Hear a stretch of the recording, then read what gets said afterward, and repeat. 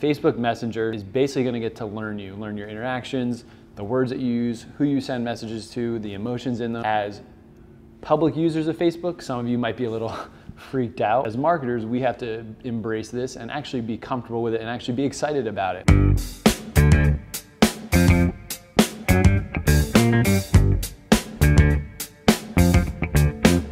Hey everybody, Kevin O'Connell here founder of FYN Creative Digital Storyteller here in Washington, D.C.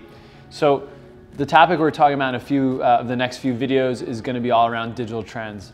And so one of the ones that I want to talk about today is Facebook Messenger bots. Within the last year or so, there's been 1.2 billion active users uh, using Facebook Messenger. So personal, for personally like you and I, organizationally, for customer service as well as for some marketing purposes. So here's kind of what I want to talk about. You might get creeped out by this. So Mark Zuckerberg, love him or hate him, he said last year in one of his keynotes that Facebook Messenger is basically going to get to learn you, learn your interactions, the words that you use, who you send messages to, the emotions in them. Uh, and so as public users of Facebook, some of you might be a little freaked out. But as marketers, we have to embrace this and actually be comfortable with it and actually be excited about it. Um, and so here's why. A lot of digital thought leaders, including myself, I believe that in the next two, three, four, five years, that Facebook Messengers will be our new email marketing.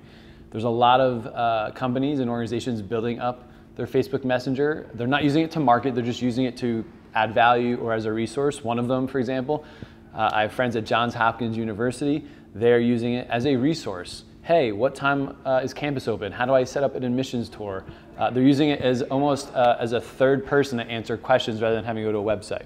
But here's the, the cool case study. I love following Jamie Oliver. He is a chef, celebrity chef in the UK. And what he did is he had a new book come out late last year of 2017. And he has a whole YouTube conglomerate, a whole Instagram following. But what he did is he harnessed Instagram or Facebook Messenger and his book, and he created a Facebook Messenger bot. And what he did is he came out with it and he said, "Hey, any food emoji that you use, we're to spit back a recipe from our book for you for free," which is really cool. So I was automatically, as a digital marketing nerd, I had to try it, but also as a fan of Jamie Oliver, I had to see how good it was. So uh, I immediately said get started. Three, three messages come back. I'm going to read it right here. It said, Hey Kevin, welcome to Jamie's Amazing Recipe Bot and had emojis in it with a high signal and it populated my name.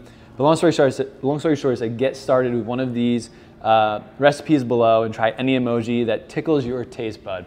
So I was like, all right, let me throw the, the chicken, chicken bone or chicken thigh emoji out there. I'm talking within like quarter of a second, recipe comes back with chicken pot pie. So I was like, all right, that's pretty easy. Let me try, I don't know, a box of french fries. Sure enough, second, half a second later, a whole recipe, how to make sweet potato french fries. Was blown away.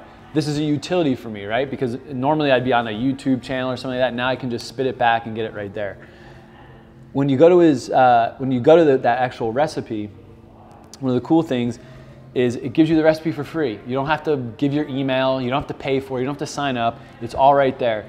And then right at the bottom, right where your thumb is scrolling, there is a little click now buy his book. So he was eventually using that as a conversion to sell his books, but he used this as a utility to build his brand, help people cook more, and obviously get a little publicity and awareness around his book. Um, so I would challenge any of you guys out there that one, this should be a conversation you're having with your team, large, small, profit, nonprofit, uh, entrepreneur or not, you should be thinking about Facebook Messenger bots, you should be using them uh, with other companies, see how they're interacting, and maybe start learning the skill set around it. Maybe you want to try to build one. Uh, there's plenty of other third party things out there, people that can help you out. But this is something that I think in two to three or four years, you're going to regret not understanding, not implementing, or not putting a budget aside to get going on Facebook Messengers. Um, so don't look at it as something scary, look at it as something that can be utilized to build your brand and help your customers or clients out. So uh, hope this helped. Again, Kevin O'Connell here, FYN Creative. Hope to see you next time. Thanks.